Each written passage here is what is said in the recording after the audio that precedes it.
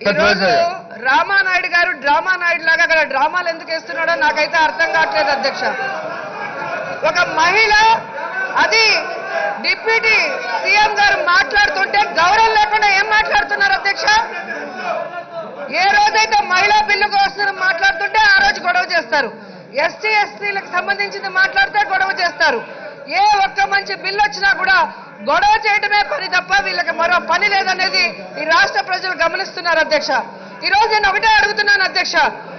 ఈరోజు save Amaravati save Andhra Pradesh అంటున్నారు అధ్యక్ష. ఏం సేవ చేయాలి అధ్యక్ష? నాలుగు వేల ఎకరాలు ఈరోజు రైతులవి దోచుకొని వాళ్ళని బాగా సేవ్ చేసేసి ఇంకా ఏం సేవ్ చేయాలి అని మీరు అడుగుతున్నారని నేను అడుగుతున్నాను అధ్యక్ష. నిన్న సిగ్గు లేకుండా మాట్లాడుతున్నారు. చంద్రబాబు నాయుడు గారు మాట్లాడుతున్నారు. గురించి ఏమైనా మాట్లాడతాడేమో? ఆరు దశాబ్దాలుగా వెనకబడిపోయాం. ఏదైనా సలహా ఇస్తారేమో జగన్మోహన్ రెడ్డి గారి కంటే సిగ్గు లేకుండా ఆయన మాట్లాడిన తీరు చూస్తుంటే చాలా బాధాకరం అధ్యక్ష. ఆయన అంటాడు మోడీ గారు నీళ్ళు మట్టి ఇచ్చారు అది ఎక్కడ పెట్టామో అదే రాజధాని అని. మరి మోడీ గారు నీళ్ళు మట్టి ఇచ్చి శంకుస్థాపన చేసిన చోట పర్మనెంట్ బిల్డింగ్లు నువ్వు ఎందుకు కట్టలేదు? టెంపరీ బిల్డింగ్లు ఎందుకు కట్టావని నేను ప్రశ్నిస్తున్నాను అధ్యక్ష. అండ్ ఈ రోజు అంటాడు ఏ విధంగా అయితే మోడీ గారే క్లియర్గా చెప్పడం జరిగింది నిన్న మేనిఫెస్టోలో జగన్మోహన్ రెడ్డి గారు చదివి వినిపించారు. సన్ రైజ్ ఆంధ్రప్రదేశ్ చేస్తానని తన సన్ని అడ్డదారిన రైస్ చేసుకొని ఏ విధంగా అక్కడ దోచుకున్నాడో ఆయన చెప్పాడు.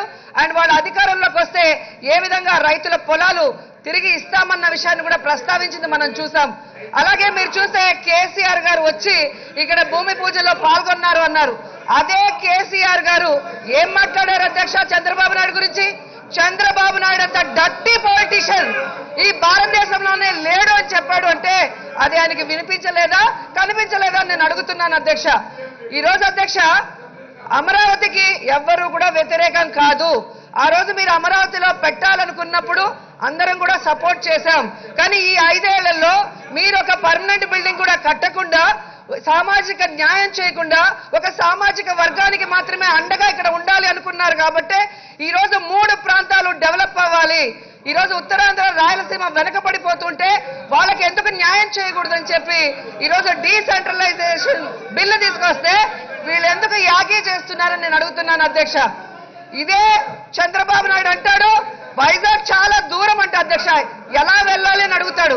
మరి రెండు వేల పద్నాలుగులో ఆ పెద్ద మనిషి చెప్పాడు కదా అధ్యక్ష బుల్లెట్ ట్రైన్ వేసాం రాయలసీమ కానీ. ఆ బుల్లెట్ ట్రైన్ ఎక్కడికి పోయిందరా అధ్యక్ష? లోకేష్ ఆడుకుంటున్నాడు అధ్యక్ష. రెయిన్ గన్లతో కరువు చేయించాము రైతులను ఆదుకున్నామన్నాడు. ఎక్కడ అధ్యక్ష రైల్ గన్లో దేవాంశ ఆడుకుంటున్నారు అధ్యక్ష. అన్ని రకాలుగా ప్రజల్ని మోసం చేసి సర్వనాశనం చేసి సిగ్గు లేకుండా మాట్లాడడానికి వీళ్ళకి అధికారం హక్కు ఉందని అడుగుతున్నాను అధ్యక్ష.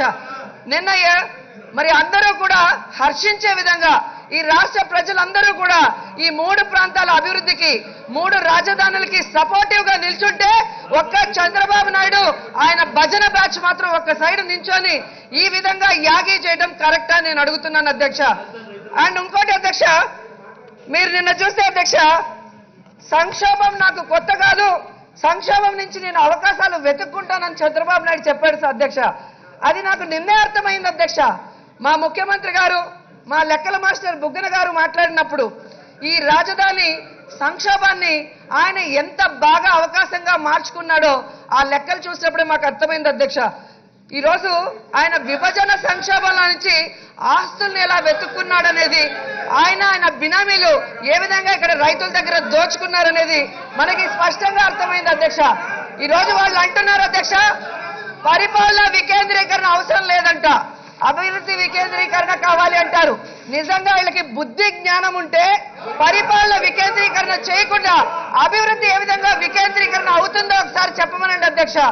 ఈరోజు హైదరాబాద్ కానీ చెన్నై కానీ బెంగళూరు కానీ కలకత్తా కానీ ఎక్కడైనా కూడా మరి ఏ విధంగా అభివృద్ధి చెందిందో ఒకసారి వీళ్ళు అర్థం చేసుకోవాలి అధ్యక్ష.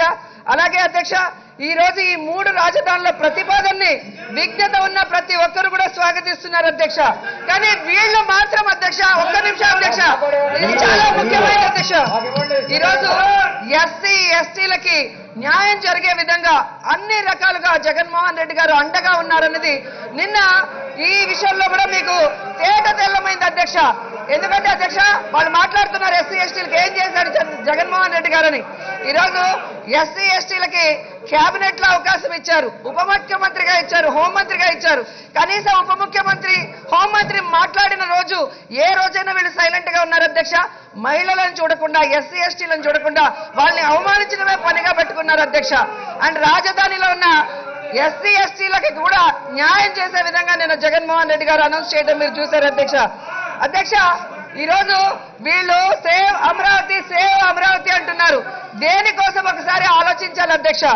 అన్ని వర్గాలు బ్రతికే దానినే సామాజిక రాజధాని అంటారు. కానీ వీళ్ళు సామాజిక వర్గానికి ఒక రాజధాని కావాలని కోరుకోవడం చాలా బాధాకరం అధ్యక్ష. ఎందుకంటే అధ్యక్ష ఇది ఎందుకు నేను చెప్తున్నాను ఒకసారి మీరు ఆలోచించాలి అధ్యక్ష. గుంటూరుకి చెందిన పత్తిపాటి పుల్లారావు గారు ఆంజనేయులు గారు అలాగే ధూళిపాల నరేంద్ర గారు అలాగే కోడెల శివప్రసాద్ గారి కుటుంబం ఇక్కడ భూములు కొన్నదే కానీ ఎందుకు అధ్యక్ష? నక్క ఆనంద్ బాబు గారు కొనలేదో ఒకసారి ఆలోచించండి అధ్యక్ష. అలాగే అనంతపూర్లో కేసులు కొన్నాడు. కానీ యామిని బాల ఒకసారి ఆలోచించండి అధ్యక్ష. సామాజిక వర్గ న్యాయ జానని మీరు ఒకసారి ఆలోచించాలి అధ్యక్ష. అండ్ నిన్న కేశవ్ గారు చాలా పెద్ద పెద్దగా అరుస్తూ మాట్లాడుతున్నాడు అధ్యక్ష. ఏ రాజధానిలో మేము ఇల్లు కట్టుకోవడదా రాజధాని మీద మాకు ప్రేమ ఉంది అంటారు అధ్యక్ష. మరి రాజధాని మీద ప్రేమ ఉన్నవాడైతే మూడు సార్లు ఎమ్మెల్యేగా హైదరాబాద్లో ఉన్నప్పుడు అక్కడ ఎందుకు ఇల్లు కట్టుకోలేదు? అక్కడ ఇన్సైడ్ ట్రేడింగ్ కుదరలేదు కాబట్టి కట్టుకోలేదని నేను అడుగుతున్నాను అధ్యక్ష. అంటే ఈ రోజు జగన్మోహన్ రెడ్డి గారికి సలహా ఇస్తాడు అధ్యక్ష. పయ్యావుల కేశవ్ గారు రాజుకి రైతు మీద దయ ఉండాలి అంట దుర్మార్గుల్ని దండించే ధైర్యం ఉండాలంట.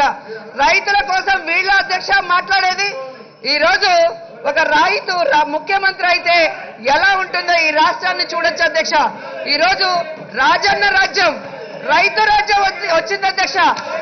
ఆరు నెలల్లోనే రైతులకి రైతు భరోసా ఇచ్చారు ఉచిత విద్యుత్ ఇచ్చారు ఉచిత పంటల బీమా ఇచ్చారు ధరల స్థిరీకరణ నిధి విపత్తుల వడ్డీ లేని రుణాలు ఉచిత బోర్లు కూడా ఇవ్వడం జరిగింది అధ్యక్ష. అంతేకాకుండా చంద్రబాబుని నమ్మి భూములు ఇచ్చిన రైతులకి నష్టపరిహారాన్ని రెట్టింపు చేసి రైతు పక్షపాతి మా నాయకుడు అధ్యక్ష.